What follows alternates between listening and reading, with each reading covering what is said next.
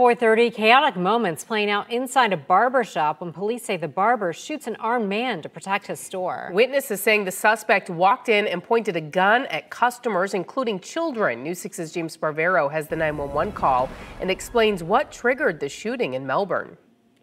What's going on there? Yeah, we at the barber shop. Somebody ran in here with a gun and uh he got shot. It is chaos.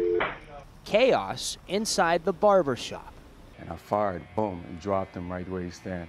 Owner Oral Reed says Marlon Mascoe threatened his life. Petrified. It was very, very scary. And the lives of his customers. We had kids in here and everything, man. It's Andrew Brown. Reed says it all started with Mascoe, who's never been to New York Hair Barber Shop before, walking into the store last Saturday. Reed says he waited and left before getting a haircut. About a half hour later, Melbourne police say Mascoe re entered the store wearing a mask and a hoodie and pointing a gun. He cocked it. He said, Nobody move. This is real. And in real time, police say Reed shot Mascoe in the hip, eliminating the threat.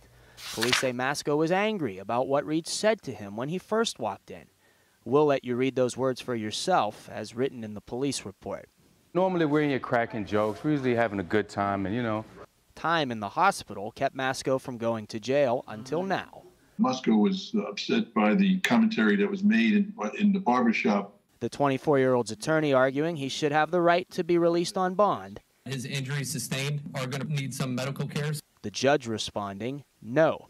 He needs to make better life decisions, you know, coming in and threatening people with guns, pointing guns at families. No, that was not smart. Mascoe's next opportunity to be granted a bond would be a bond hearing. His attorney leaving court today tells us he's working on arranging that. At the Brevard County Jail, I'm James Sparvero, getting results News 6.